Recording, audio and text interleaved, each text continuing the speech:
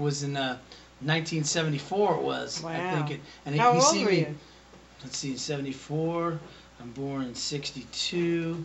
So I was 12. 12 years and he old. seen me the night before, and I go, "Hey, Elvis, Elvis!" And I'm all waving, right? I'm Elvis too. I'm Elvis too. He looked at me that night before, so then he was over here. So then the next night he's in Seattle. It's a daytime show. It's at 2 p.m. right? And then I'm there. I'm in the center row, third seat from the front. My uncle got me the ticket, right? And then I'm going, "Hey, hey!" And he goes, he goes, Ace, and that's how I got my nickname Ace. It's in my biography. Wow. But I saw him seven times, so I feel like like he got beamed down. When I seen him come, all of a sudden the lights go blank, and all of a sudden all your hair just stands up on the ends of your arms, right? Because you're waiting for this guy. All of a sudden, boom! He just comes up, and it's just like he's a Christmas tree. All these twinkles and shit. Everybody's taking cameras, and he just appears on stage, and he comes walking up on the stage, and it was so cool. And I was like, I want to look like him, I want to sound like him, I want to be like him.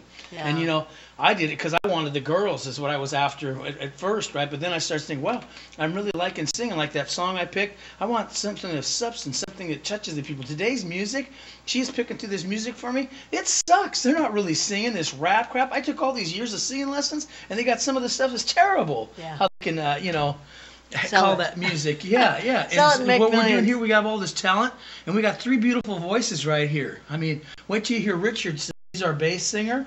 Between our voices, what we got, we got the voices that we need. Who cares if Elvis had all these people, right? If we got our horn section ready to go, they're they got their charts almost built, right? All they do is prepare the band good enough to do that, and then we can pull it off. Who cares if they had this and that? But what we need is the right people. Right now, we're hurting for guitar players. We have piano.